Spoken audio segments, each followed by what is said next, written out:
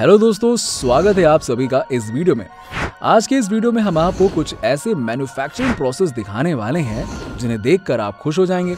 क्योंकि ये सभी चीज़ें आपको बेहद पसंद है, लेकिन आप ये नहीं जानते कि आखिर इन चीज़ों को फैक्ट्री में कैसे और किस तरीके से बनाया जाता है। तो दोस्तों, आराम से बैठ जाइए और आपका समय बर्बाद ना करते हुए चलिए शुरू करते हैं वीडियो को। इस वीडियो में सबसे पहले बात करेंगे लेस के बारे में। आपने तो सुना ही होगा और खाया भी होगा छोटे से बड़े लोगों ने लेस खूब खाया है। लेस तो कई तरह के आने लगे हैं। चटपटे Lay's chilli lemon, tomato flavour, simple flavour सबकी पसंद के लेस आते हैं मार्केट में। और हम खूब खाते भी हैं। लेस मैन्युफैक्चरिंग फैक्ट्री दोस्तों, ये सभी का फेवरेट है। आप इससे सबसे ज़्यादा खाना पसंद करते हैं। मगर आप ये नहीं जानते होंगे कि आखिर इस चीज़ को फैक्ट्री में बनाया कैसे जाता है। इसको बनाने के लिए सबसे पहले बेस्ट क्वालिटी वाले आलू की खेती की जाती है। जब ये आलू अपने सही आकार में बड़े हो जाते हैं, तब इन्हें बड़ी बड़ी मशीन वाले ट्रैक्टर की मदद से खेतों से आलूओं को उठाया जाता है और फिर इसके साथ दूसरी ट्रक में इसे लोड किया जाता है। और दोस्तों, ये ट्रक आलू से भरा होता है। फिर ट्रक फैक्ट्री के लिए निकल जाता है। फैक्ट्री में पहुँचने के बाद सबसे पहले इन आलुओं को वहाँ पर लगे बड़े से कंटेनर में डाला जाता है, जिसके अंदर गर्म पानी भरा होता है। उस गर्म पानी में आलू को डालकर अच्छे तरीके से साफ़ किया जाता है, जिससे आलू पर लगी धूल और मिट्टी आसानी से हट सके। बिना क्लीन किए आलू को बाहर नहीं निकाला जाता। आगे फिर इस कॉन्ट्रा बेल्ट की मदद से आलू को छीलने के लिए वहाँ पर लगी एक दूसरी मशीन के अंदर शिफ्ट कर दिया जाता है। वो भी ट्रॉली की मदद से। और ये एडवांस मशीन आलू को अच्छी तरीके से छीलकर उसे एक पानी के कंटेनर के अंदर छोड़ देती है। अगले स्टेप में मौजूदा वर्कर्स अपने हाथों से गंदे आलुओं और सड़े गले आलुओं को अलग करते हैं और धीरे धीरे वो मशीन आलुओं को आगे लेकर जाती है। फिर आगे ले जाकर स्लाइस मशीन के अंदर इसे डाल दिया जाता है। यहाँ पर ये मौजूद स्लाइसर मशीन आलुओं को अच्छी तरीके से स्लाइस कर देती है और आगे फिर आलू पूरी तरीके से चिप्स के आकार में बदलते हुए दिखाई देते हैं। अगले स्टेप में इन बनाए गए आलुओं की स्लाइसेस को गर्म उबलते हुए तेल में डाल दिया जाता है, जहाँ पर ये पूरी तरीके से डीप फ्राई हो जाते हैं। अब दोस्तों, आगे आता है सबसे बढ़िया पार्ट इस चिप्स के साथ इस मसाले को ऐड करने की प्रक्रिया को देखना आप। इन चिप्स को कॉर्नर बेल्ट से गुजारा जाता है, जहाँ पर इसके ऊपर से इसके मसाले को स्प्रिंकल किया जाता है, जो कि मज़ेदार मसाले डाले जाते हैं। इनको बनते देख तो लोगों के मुँह में पानी आ गया होगा, है ना? इन मसालों में आप एक अलग ही टेस्ट पाओगे, जो कि सिर्फ़ फैक्ट्री मेकिंग में डाले जाते हैं, और इन मसालों की अलग ही स्पेशलिटी होती है।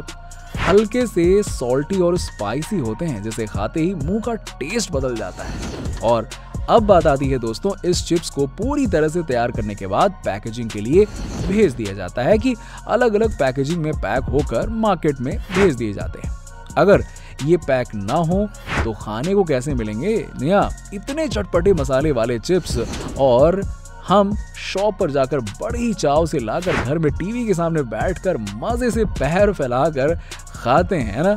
और सबसे ज़्यादा तो क्रिकेट देखते टाइम लोगों के हाथों में ये चिप्स के पैकेट होते हैं और अगल बगल दो चार रखे होते हैं। बच्चों के साथ बड़े बड़े भी पसंदीदा चिप्स अपने अपने हिसाब से खाते हैं। दोस्तों, चिप्स को अलग अलग तरीके की डिशेस के साथ बनाकर भी हम खाते हैं। दोस्तों, अगर आप इसको खाने के शौकीन हैं तो इस वीडियो को लाइक करें सब्सक्राइब करें और कमेंट करके ज़रूर बताएँ कि आपका कौन सा पसंदीदा चिप्स है। अब बात करने वाले हैं डेयरी मिल्क मैन्युफैक्चरिंग की। डेयरी मिल्क चॉकलेट का नाम तो सुनते ही लोगों के मन में सबसे पहले अपने बचपन की याद आती है कि अरे है, है जब हम छोटे थे तो एक दिन में कितनी सारी चॉकलेट्स खा जाया करते थे और फिर दांतों को दिखाने के लिए डॉक्टर के पास जाया करते थे। सही कहा ना? और अब बच्चों की बात करें तो वो एक बार जिद कर लें तो भैया लेकर देना ही पड़ता है इतना सब कुछ होता है। तो ये भी जान लें कि आखिरकार फैक्ट्री में कैसे बनाई जाती है डेयरी मिल्क चॉकलेट। अगर इतना ही खाना पसंद है तो आजकल तो छोटे बच्चे से लेकर बड़े लोग भी इसे खाते हैं। इन कैडबरी को बनाने की प्रोसेस बेहद ही खास होती है। सबसे पहले हाई क्वालिटी वाले कोका फल को तोड़कर उनके अंदर से उनके बीन्स को निकाला जाता है और आगे इन बीन्स को पूरी तरह से धूप में डालकर सुखाया जाता है। फिर इन्हें फैक्ट्री में लाया जाता है। फैक्ट्री में पहुँचने के बाद सबसे पहले इन बीन्स को अच्छी तरीके से रोस्ट करके इन्हें चोको चिप्स के रूप में बदल दिया जाता है। वहाँ लगी बड़ी बड़ी मशीन इन्हें अच्छे से बनाती है और फिर इनको धीरे धीरे आगे ग्राइंडिंग प्रोसेसर में भेज दिया जाता है, जो कि वहाँ की लगी मशीन धीरे धीरे आगे ले जाती है। अब यहीं से शुरू होता है डेयरी मिल्क बनाने का प्रोसेस सबसे पहले इनको कुछ चोको चिप्स को सबसे पहले मशीन में डाल दिया जाता है और इसी के साथ ही वाटर और शुगर डाल दिया जाता है और आगे थोड़ी देर के बाद मिक्स करके लिक्विड पेस्ट में बन जाता है ये। इसके बाद इन बनाए गए लिक्विड चॉकलेटों को रेफरेंस से निकाला जाता है, जिसकी मदद से चॉकलेट को अपना स्मूथ टेक्सचर मिल जाता है। अब दोस्तों, आगे बात करते हैं चॉकलेट पूरी तरीके से तैयार हो जाता है। थोड़ी देर बाद इस लिक्विड चॉकलेट को डेरी मिल्क के मोल्ड के अंदर डाल दिया जाता है और फिर इन मोल्ड्स को दो दिन के लिए फ्रीजर रूम में रख दिया जाता है और यहाँ पर ये चॉकलेट पूरी तरीके से हार्ड हो जाती है, जहाँ आठ डिग्री सेल्सियस पे रखा जाता है। फिर आगे दो दिन के बाद इन्हें मोल्ड के अंदर से निकाला जाता है और इन चॉकलेट्स को फैक्ट्री में दूसरी तरफ़ अलग अलग पैकेट में पैक करने के लिए भेज दिया जाता है और अब बारी आती है पूरी दुनिया भर में भेजने की, जहाँ जहाँ ये जाते हैं। और वहाँ वहाँ ये चॉकलेट अपनी जगह बना लेते हैं और लोगों का दिल जीतते हैं। दोस्तों, ये चॉकलेट तो आपको पता ही होगा कि सिर्फ़ इंडिया में नहीं, बाहर भी भेजे जाते हैं, जो कि लोगों को बहुत पसंद होता है। और चॉकलेट खाने के शौकीन तो पूरे वर्ल्ड में है दोस्तों। या। दोस्तों, अब बात करेंगे सबसे ज़्यादा खास और सबसे ज़्यादा खाए जाने वाले किंडर जॉय के बारे में। हम सभी को है कि बच्चों में किंडर जॉय को लेकर काफ़ी क्रेज देखने को मिलता है, खासकर किंडर जॉय के अंदर निकलने वाले सरप्राइज़ टॉय को लेकर। ज़्यादातर बच्चे सिर्फ़ किंडर जॉय टॉय के लिए ही किंडर जॉय को खरीदते हैं। इसका टेस्ट भी काफ़ी अलग होता है और काफ़ी अच्छा होता है, जो बच्चों को बहुत पसंद होता है। इसके लिए किंडर जॉय अपने टेस्ट के लिए दुनिया भर में जाना जाता है, लेकिन देखा जाए तो इसकी कीमत काफ़ी ज़्यादा होती है। इसलिए हमने अपने बचपन में इसे सिर्फ़ तीन या चार बार ही खरीदा होगा, और आपने भी। लेकिन दोस्तों, आपने कभी सोचा है कि आखिर इसकी कीमत इतनी ज़्यादा क्यों है? और इसे फैक्ट्री में कैसे और किन किन चीज़ों से मिलाकर बनाया जाता है? और हम आपको इस वीडियो के लास्ट में ये भी बताएँगे कि आखिर कुछ देशों में, जैसे कि अमेरिका में, किंडर जॉय पर बैन क्यों लगाया गया? आखिर बैन करने का रीजन क्या है? तो इन सभी सवालों के जवाब इस वीडियो में आपको मिलेंगे। तो इसे एंड तक ज़रूर देखिएगा किंडर जॉय को बनाने की शुरुआत होती है इसके व्हाइट चॉकलेट पेस्ट को बनाने से। व्हाइट चॉकलेट को बनाने के लिए cocoa beans cocoa butter cocoa latus को प्रेशर मशीन के ज़रिए निकाला जाता है। साथ ही चीनी और मिल्क पाउडर को एक स्पेशल टाइप के मिक्सचर में डाल दिया जाता है और इससे अच्छी तरह से एक घंटे तक मिक्स किया जाता है, जिससे कि इसके अंदर डाले जाने वाले व्हाइट चॉकलेट पेस्ट को बनाया जा सके। और फिर फैक्ट्री के दूसरी तरफ़ किंडर जॉय में डाली जाने वाली चॉकलेट बॉल को बनाया जाता है। और इसे बनाने के लिए एक कैटल मशीन में हार्ड चॉकलेट को डाल दिया जाता है और इस मशीन को ऑन कर दिया जाता है, जिससे ये कैटल धीरे धीरे घूमती रहती है और ऐसे ही बीच में इसके चॉकलेट पेस्ट को डाला जाता है। और कुछ घंटे इसी तरह घूमते रहने के बाद एकदम चॉकलेट बॉल्स का रूप ले लेती है।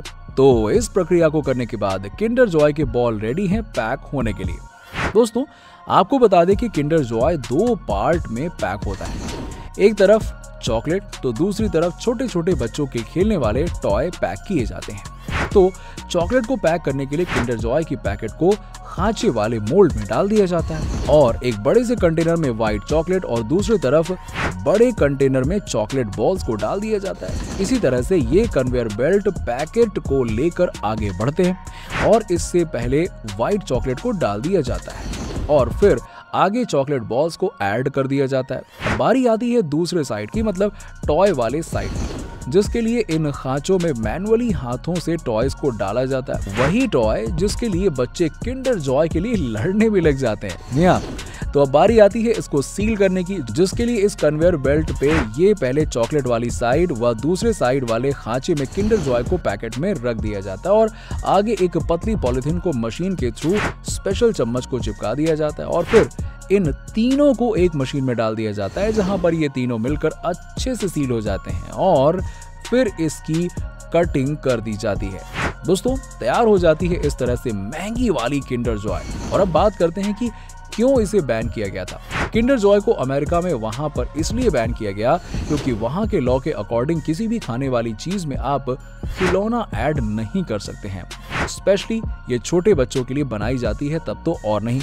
और उनकी नज़र में जो टॉयज होते हैं, उनके काफ़ी छोटे छोटे पार्ट्स होते हैं, जिससे कि बच्चे के निगलने का डर रहता है। और दूसरा सबसे बड़ा रीज़न है टैक्स अगर आप टैक्स की थोड़ा बहुत जानकारी रखते हैं तो आपको पता ही होगा कि हर तरह के सामान के साथ टैक्स अलग अलग तरीके से लगाया जाता है। वैसे ही फ़ूड आइटम और टॉय आइटम का टैक्स अलग अलग होता है। लेकिन कंपनी फ़ूड आइटम के टैक्स पर ही फ़ूड और टॉय दोनों को बेचती है। हालाँकि इंडिया में इन सभी चीज़ों को अनदेखा कर दिया जाता है, जिससे कि यहाँ पर इन चीज़ों की छूट मिलती है। अगर हमारी वीडियो अच्छी लगी हो दोस्तों तो वीडियो को लाइक करना बिल्कुल मत भूलिएगा और इस चैनल के साथ बने रहने के लिए और भी इंटरेस्टिंग वीडियोस को देखते रहने के लिए हमारे चैनल को सब्सक्राइब करें बेल आइकन पर क्लिक करें और जिससे कि हमारी वीडियोस की नोटिफिकेशन आप तक पहुँचते रहे सबसे पहले। चलिए मिलते हैं आपसे अगले वीडियो में। बाय